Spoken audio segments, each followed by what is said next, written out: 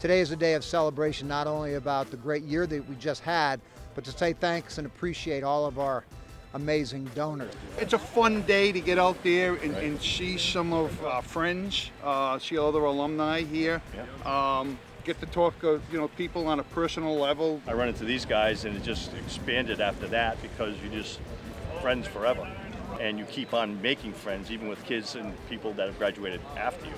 So uh, Stevie Knapp's a great example of that too. Yeah. So it's just it's a, it's an, a building a family, and it just keeps on building. It's, it's very very cool. It's a gift that keeps on giving, it as is. they say. Yeah, it is. It's cool.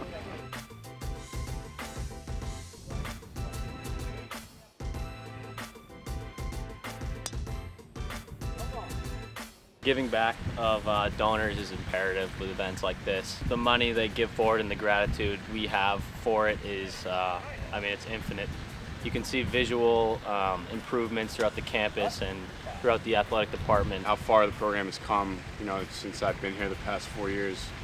Um, without uh, donors and everybody else, uh, that wouldn't be possible.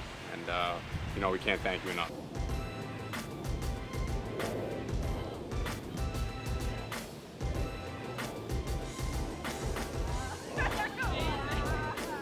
Have a press release going out today that's going to announce the construction of our Ruane Friar Development Center, and uh, it's going to be completed by August 15th of 18, and it's going to be a state-of-the-art facility for our student athletes to compete, hopefully for another Big East and ultimately a national championship. Looking forward to playing in it, man. That's a that's a great investment. It's a great thing to have. I know our seniors are a little sad, but we definitely can't wait to play in it. This is a great event, uh, great venue, very beautiful outside. It just gives us a chance to uh, meet the people who help fund our programs and give those uh, finances to help us to be a better team. Our new center coming up, you know, a lot of these people donated to that as well. These people are behind the scenes and they really do, you know, they do a lot to help our program become better.